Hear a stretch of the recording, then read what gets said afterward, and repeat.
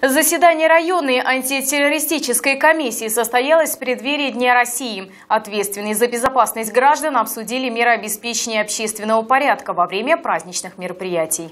Кроме членов антитеррористической комиссии на мероприятии присутствовали главы городских и сельских поселений, руководители объектов автомобильного и железнодорожного транспорта. Присутствующие обсудили меры обеспечения общественной антитеррористической и пожарной безопасности, а также правопорядка в период предстоящих праздничных выходных. Мы все время акцентируем над этим э, по этому вопросу внимание, потому что э, длительные праздники, важные политические события, они всегда влекут к тому, что есть возможность э, организации нарушения общественного порядка.